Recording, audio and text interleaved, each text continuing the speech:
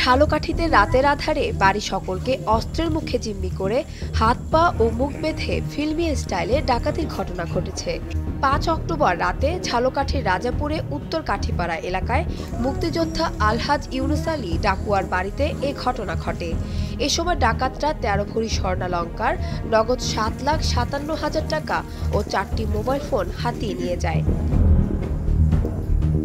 স্থানীয়রা জানায়, রাত আনুমানিক আড়াইটার দিকে ভবনের সামনে ড্রয়িং রুমে জানালার গ্রিল কেটে পাঁচ থেকে ছয় জনের মুখোশ পরা ডাকাত দল ভিতরে ঢুকে অস্ত্রের মুখে সবাইকে জিম্মি করে তাদের হাত, পা ও মুখ বেঁধে ফেলে।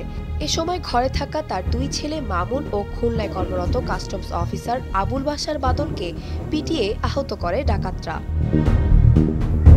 পরে সবাইকে একটি রুমের মধ্যে আটকে রেখে সব তাণ্ডব চালিয়ে সমস্ত মালামাল তছনছ করে নগদ টাকা ও স্বর্ণালঙ্কার হাতি নিয়ে চলে যায় ডাকাত দল। খবর পেয়ে পুলিশ ঘটনাস্থল পরিদর্শন করেছেন। রাজাপুর থানায় ভারপ্রাপ্ত কর্মকর্তা আতাউর রহমান জানান এই ঘটনায় জড়িতদের চিহ্নিত করে তাদের বিরুদ্ধে আইনগত ব্যবস্থা নেওয়া হবে। আমার রুমে যাইয়েই আমার এরপর হিটেন দেব আতাই মোবাইলটা নিয়েছে লাইটটা লয়ে গেলে চল। নিয়ে ওই রুমের ভিতরে লই গেছে বাইকের রুমে যাই দেয় হেগো বান্ধা আমার উনি হেনে বান্ধি হালাই দিয়া থুই দিয়েছে এরপর ওই রুম দিয়ে সবের বান্ধি এক রুমে লই গেছে। এক রুমে আনিয়ে সব থুইয়া চক্ষু বান্ধে থুইছে, মুখ বান্ধে থুইছে। তা কথা বলছি না।